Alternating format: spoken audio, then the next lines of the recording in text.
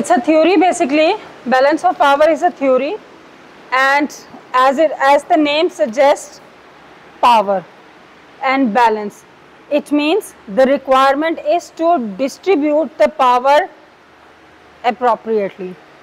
Once your power is not appropriate and the distribution is not appropriate you will not get any fruitful result. For example if you are very strong and military wise but you are not going to use that military in a wise way it will be a wastage. If you have if your country is an agriculture and your pro product is very good but if you uh, misuse it it will get spoiled. So so the balance of power in IR refers to the distribution of power. In IR it means distribution of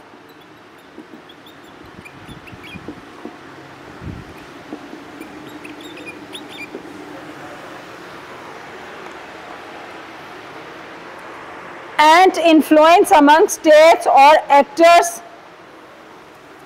It is also to, to put your influence among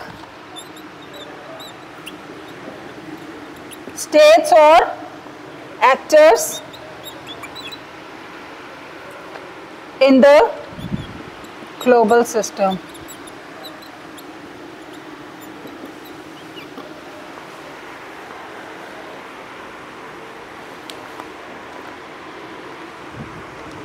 So once you have the proper distribution, only then you will get influence among other states globally.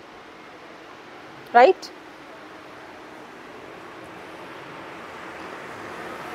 So, and it is also a key concept. Key concept to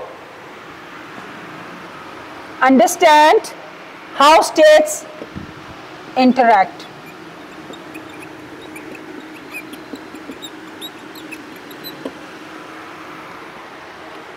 Right? So how states interact with each other is the key concept of this theory, balance of power. Can you give me any example that you are just observing in today's world? that how you are going to see the balance of power. Is it uh,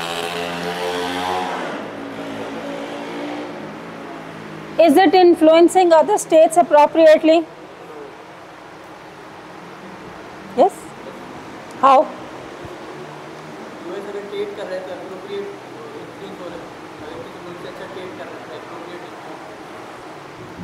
Any other idea? क्या US का सारे system बिल्कुल सही जा रहे हैं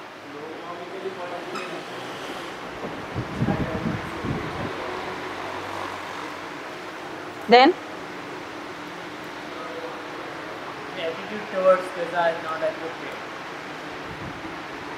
okay Gaza is something different हम इसको हाँ तो it means it is not US is not uh, distributing its power appropriately. If it is uh, promoting one thing and on the other hand it is lacking, so you cannot say that it is justifying all the things. So justification is the important thing, how you are going to justify anything.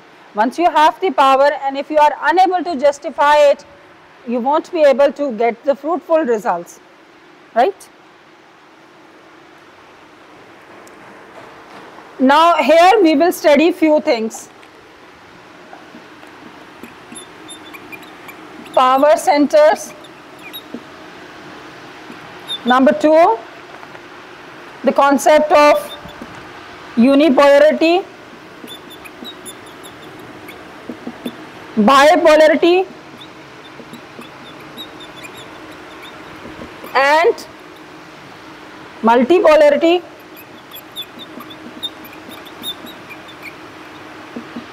Then alliances and coalition.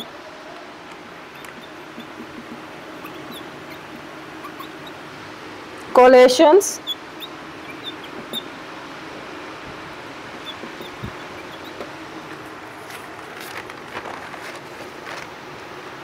diplomacy and conflicts.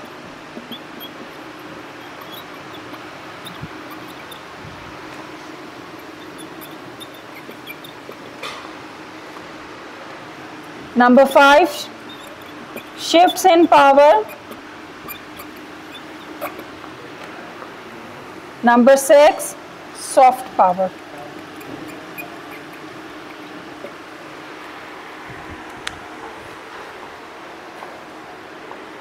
These six categories we will try to cover in today's topic, right?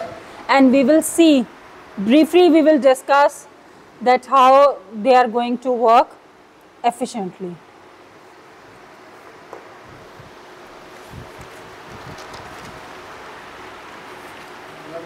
Topic आया था concept of यूनिपॉलिटी तो फिर आप लोगों को अगर पता होगा कि यूनिपोलरिटी का मतलब क्या है बाईपोलरिटी का मतलब क्या है तो फिर ही आप लिख सकें ना। अब अगर किसी ने नाम ही ना सुना हो टर्म ही ना सुनी हो तो फिर तो लिख ही नहीं सकते।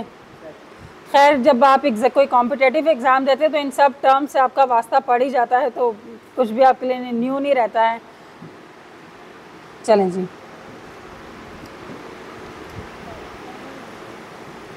अच्छा we talk about power centers so the balance of power can shift uh, थोड़ा सा लिख लीजिए ये पावर सेंटर से क्या मुराद है? Okay I will give you only little concept फिर इस कॉन्सेप्ट को जहन में रखते हुए बाकी फिर आप लोगों ने फर्दर इसको सर्च करके तो स्टडी कर लीजिएगा कि यहाँ पे इस हेडिंग uh, का मकसद क्या है और फिर हमने इसमें मज़ीद क्या सर्च करना है ठीक है? लिखिए। The balance of power can shift over time can shift over time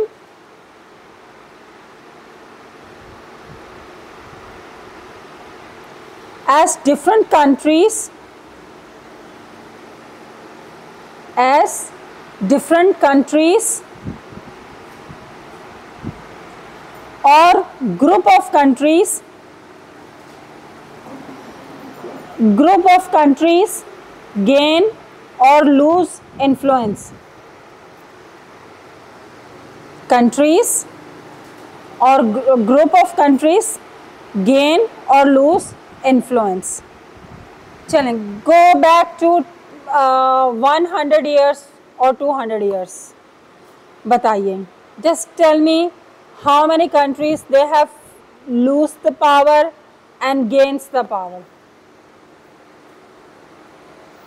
चलें 200 साल ना ले लें 100 साल ले लें। 1914 से स्टार्ट करें, फ़र्स्ट वर्ल्ड वॉर से। Any idea first world war के बाद क्या हुआ था?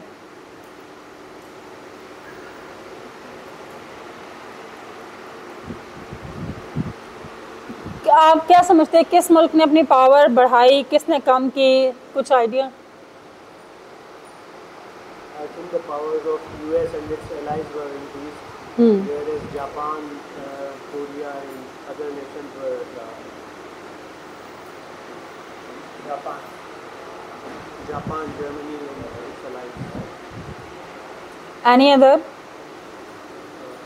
The Ottoman Empire was uh, brought to an end. Ottoman Empire. Okay. And what else?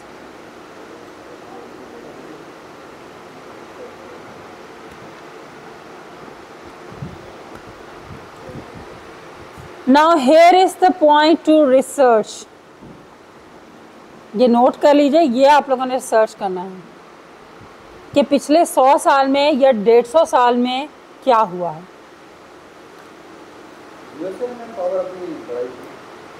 USA ने कुछ शेयर की परचेज की ताकि अपनी इकोनॉमिकल क्राइसिस से निकल कर आगे डेवलप हो सके। और ज़्यादातर उसने इन्वेस्ट किया जंगी सामान पर जो ज़्यादा ज़्यादा असला तैयार कर सके ताकि वो सुपर पावर बन सके। पहले रशिया भी again USA Soviet Union Soviet Union उन्होंने उसको खत्म करके उससे कोल्ड वार स्टार्ट कर दी। हम्म। लोगों को अंदर से खत्म करो अंदर से खोखला करके उनको इतना मजबूर कर दो कि आपका Why? Now USA is not only superpower. There are other countries as well. Acha. This is your homework to search how the power shifts. All right. Okay, major power centers historically, major power centers historically included the united states russia china and the european union among others Ma'am, please the. Major power. Major power. Major power centers historically included the United States, Russia, China, and the European Union.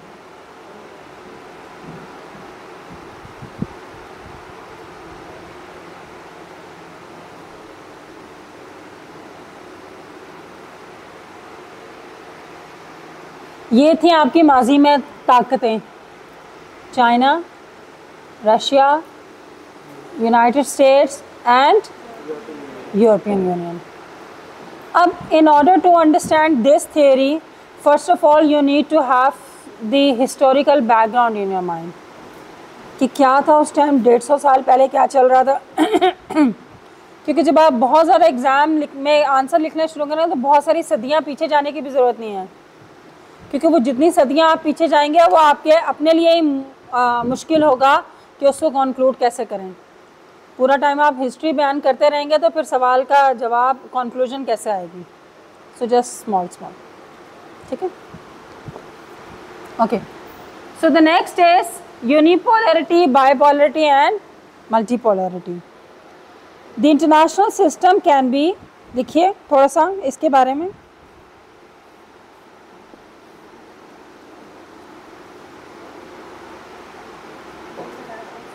The international system can be characterized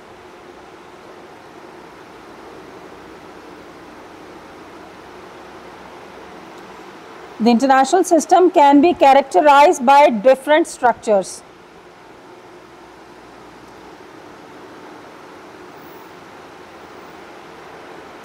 Multipolarity refers to Multipolarity refers to a system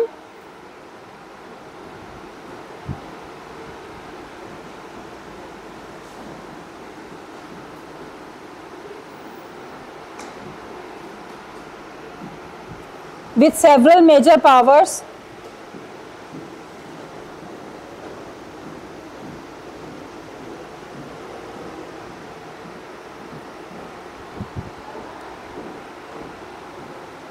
ठीक है। So what do you mean by by bipolarity it means with two powers and by unipolarity means one power अच्छा अब multipolarity में बताएँ, आज के दौर में एक कौन सा सिस्टम चल रहा है?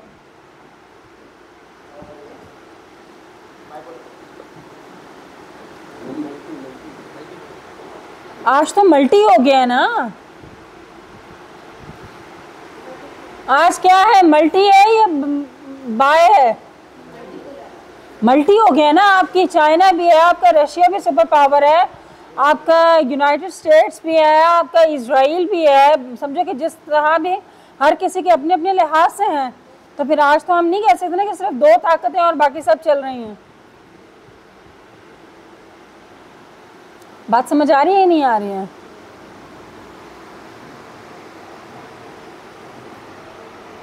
So,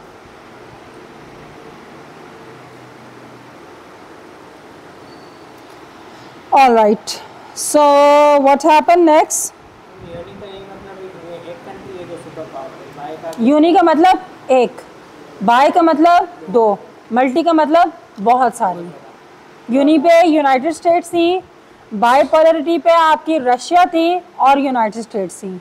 और अभी आपका चाइना जापान टप टक जर्मनी भी लगा लो सब सब लगा लो। पाकिस्तान।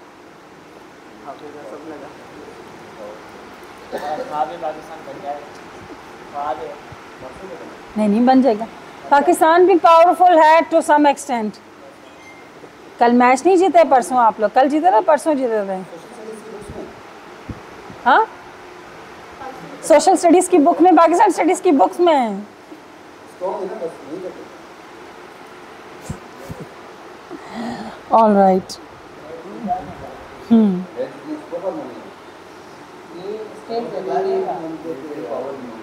नहीं करते ऑल राइट बाय है एंड बहुत money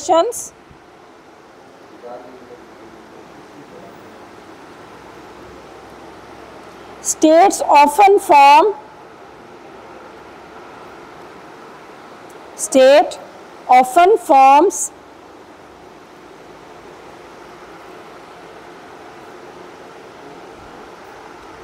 alliances or coalitions.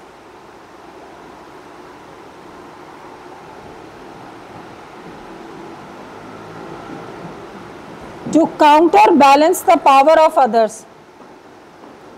To counter balance the power of others. For example nato is a military alliance. Nato is a military alliance of western countries of western countries during the cold war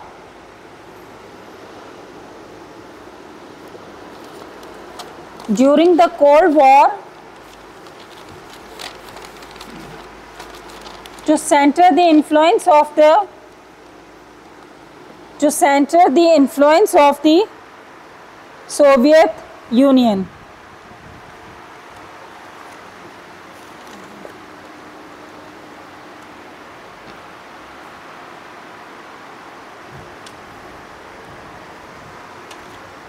आज कौन कौन सी alliances चल रही हैं?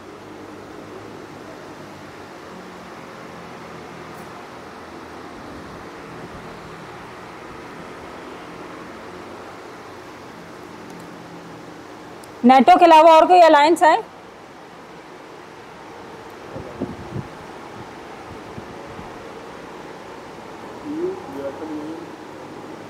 Military alliance है। Then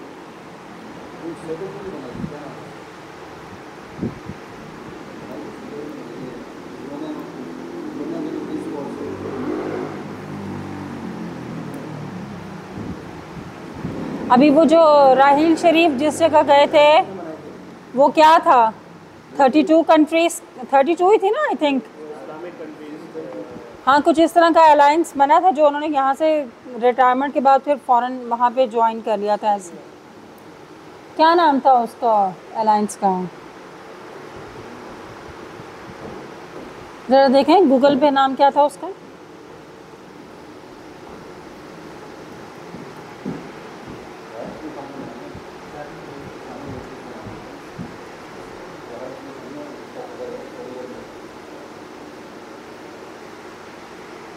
उसमें कौन कौन से कंट्रीज़ इन्वॉल्व थे? ऑल अरब कंट्रीज़ थे?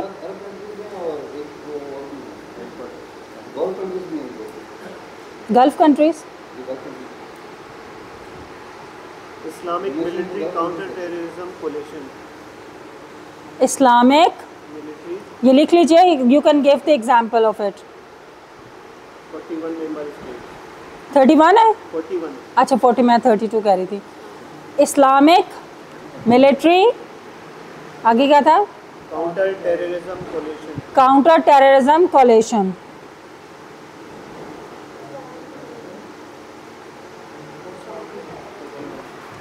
आए बोर्ड पे लिखिए आप जाइए बोर्ड पे। Right for all others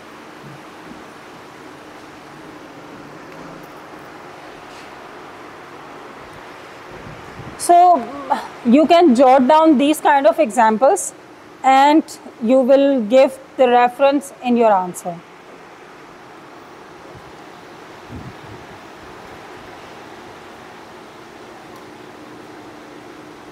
तो हमारी जो अभी हेडिंग है वो अलायंसेस और कॉलेशन की ही है बेसिकली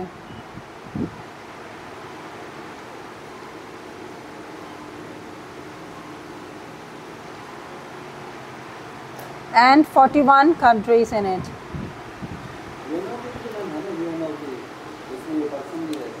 कौन सी वाली? तो इस तरह की जितनी भी आपके अलाइंसेस हैं कॉलेशन है search the examples and put them in your answers ठीक है? इट्स क्लियर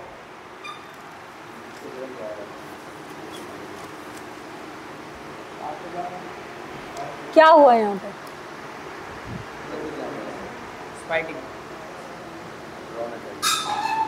तो ये परिंदे कहाँ से आ गए? ये खतरा लाख होता है मैडम। नहीं तो बैठे किधर हैं? यही तो पूछ रही हूँ। यहाँ से आते हैं यहाँ से एक विंडो का वो खुला हुआ है फिर ऊपर चले जाते हैं। Okay okay okay. ओके। अच्छा अच्छा अच्छा। हाँ ये भी right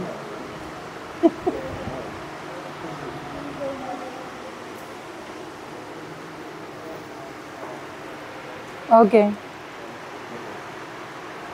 so in next point diplomacy and conflict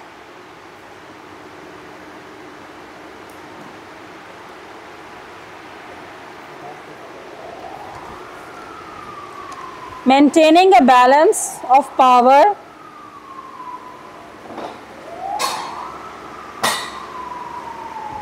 आप मेरे ख्याल है इसको जाके ना वॉश कर लीजिए वरना ये ड्राई यहीं हो जाएगी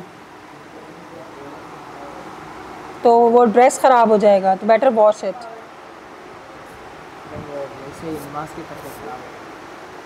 हाँ तो यही करिए ना वॉश कर लीजिए ताकि फिर हो जाए। Okay maintaining a balance of power can help prevent conflicts.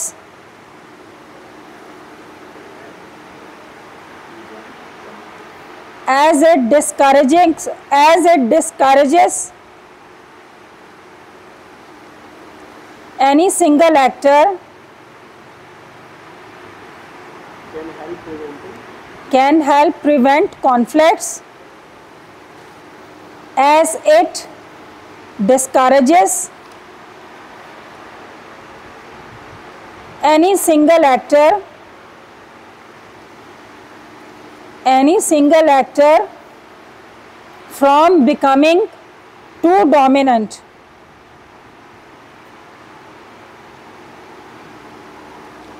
diplomacy and negotiations uh, from becoming too dominant. Dipl- diplomacy and negotiations play a crucial role play a crucial role in managing power rivalries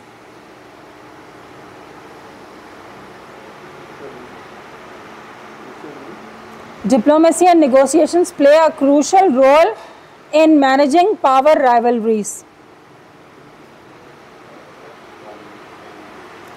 Uh, managing power rivalries.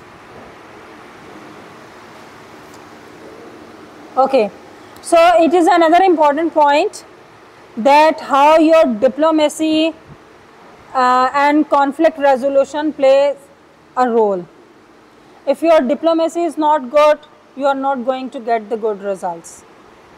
कितने पाकिस्तान के और India के issues हो रहे होते हैं तो वो कहते हैं थ्रू डिप्लोमेटिक उसमें हल करें थ्रू डायलॉग्स हल करने चाहिए ये करने चाहिए। सीधा किसी पर बम्बार्डमेंट करना ही पावर नहीं होती है। अगर आप चीज़ों को टेक्निकली हैंडल नहीं कर पा रहे तो it is your state's fault कि आप ज़बान से किसी को समझा नहीं पा रहे तो आपको हथियार इस्तेमाल करना पड़ा। So in order to have the good balance of power your diplomatic relation should be strong कोई एग्जांपल दीजिए मुझे डिप्लोमेटिक रिलेशंस पे।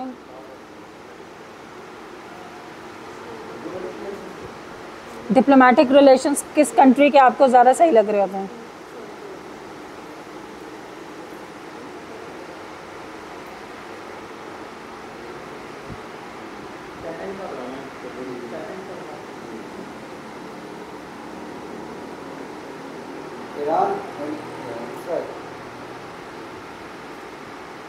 ईरान और इसराइल। कैसे? इनके अंदर अगर हम रिलीजियस तौर पर देखें तो कॉन्फ्लिक्ट पाया जाता है। अगर आप यदि बिज़नेस के अगर हम परस्पेक्टिव से देखें तो दूसरे से वो करते हैं ट्रेड करते हैं दूसरे से। और सबसे ज़्यादा ट्रेड ईरान करता है। इसराइल के साथ। तुर्की तुर्की करता sorry. I was amazed कि तुर्की ईरान लेकिन 90 तुर्की percent Israel के ऊपर हम दोनों हमारे दोनों। मैं वही कह रही हूँ ये सबसे ज़्यादा तुर्की करता है इसराइल के साथ सो हाँ अभी तो ईरान ने तो धमकी दी है इसराइल को ईरान है? अभी तक प्रैक्टिकल तो कुछ नहीं किया बस धमकी तो भाई पहले धमकी दी जाती है ना कि आप अपने आप को थोड़ा कंट्रोल कर लें। Practically हो रहा है but Iran is also playing the same game which US used to play hidden policy दोनों साइड की तरफ़ हो और बैक हैंड पे आर्म्स वगैरह सप्लाई करना। The same thing is doing Iran. Hmm, अभी ब्रिक्स के अंदर जैसे सऊदी अरब ने इंडिया के साथ जी ट्वेंटी के अंदर सऊदी अरब ने इंडिया के साथ किया ये भी हम कह सकते हैं। अभी ब्रिक समिट हुआ है ना रिसेंटली पढ़ा था किसी ने उसके बारे में? हुआ है हुआ। पढ़ा था उसके बारे में किसी ने? कब पढ़ेंगे ये सारी? इन टॉपिक्स पे कब पढ़ेंगे कब? एग्ज़ाम के बाद। एग्ज़ाम के बाद पढ़ेंगे? जनरल नॉलेज इम्प्रूव करने के लिए।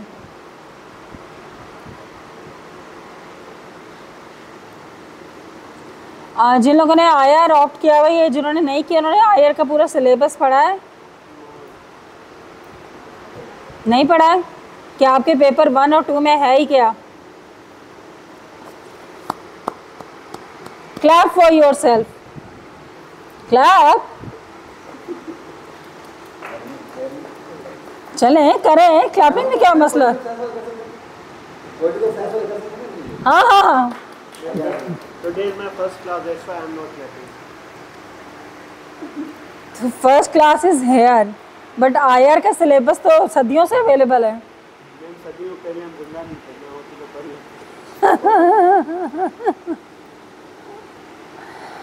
तो अभी के देखें सबसे पहले आपको सिलेबस पढ़ना ज़रूरी है। ये मुझे दिखाइएगा ज़रा बुक